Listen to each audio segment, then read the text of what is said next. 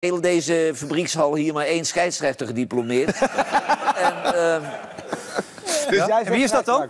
Kunt u zijn hand nog even opsteken? Is zijn er nog meer scheidsrechters eigenlijk in deze zaal? Toevallig nou, of niet die op mijn niveau, niveau Ja, gefloten twee hebben. scheidsrechters Aarlanderveen achter- tegen oh, Berg oh, oh, Ambach. Achter jou, Hey. twee scheidsrechters. Twee scheids. En, wat zeggen jullie ervan? 100% rood, Johan. Dat je het even weet.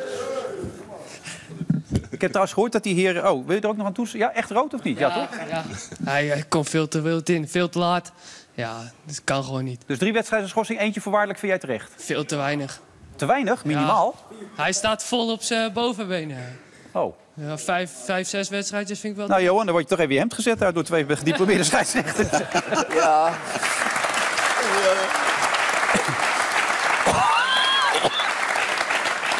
ik, eh, ik ben het er ook helemaal niet, niet mee eens. Het, het, het- als je de speler Antonia analyseert, die heeft nog nooit een vlieg kwaad gedaan. En ik denk dat hij opsprong om hem te ontwijken en bovenop hem landde. Dat zagen we inderdaad. Maar Ik moet- ik moet wat wel- denk jij dat ook? Jij hebt veel van dat soort dingen gedaan, dus jij kan het beter beoordelen. Kijk, ik, ik, vond, ik vond wat heb Klaassen deed, vond ik tien keer erger. Ja, die was is gevaarlijker. Ja, Die, die kan zijn been breken. ja. Dat... Wat zie je nou? Hij kan hem niet breken. Nou, dat had ook wel gekund. Ah, toch. Maar, maar, maar Antonio weegt eh, 31 kilo. Dus eh, Antonia. Ja. Ant- Wie? Antonio's van die ijswinkel, maar dit is Antonia.